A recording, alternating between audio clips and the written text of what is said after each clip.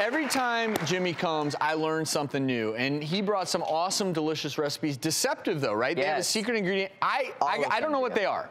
I do not know what the ingredient is that makes these special. So these are meatballs. Yes. What are they called? Just so these these are mysterious meatballs. So I want you to try one, and then And then I want guess? to see if you can guess. You get in there, buddy. Yeah.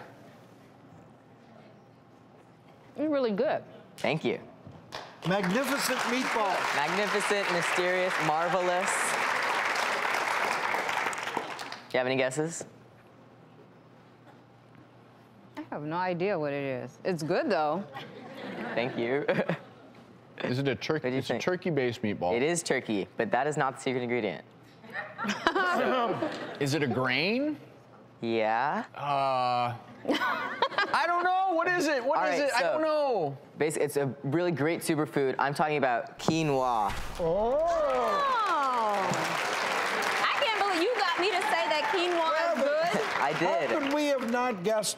I've had quinoa burgers. I Yeah. love them. You know what? I because I, I, I was thinking there's a grain in there, but it didn't taste grainy at all. Uh huh.